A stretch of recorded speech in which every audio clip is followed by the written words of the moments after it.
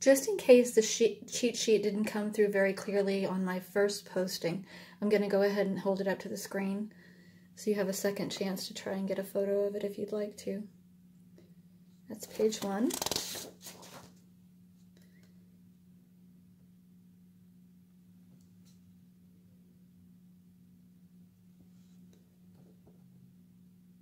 And page two.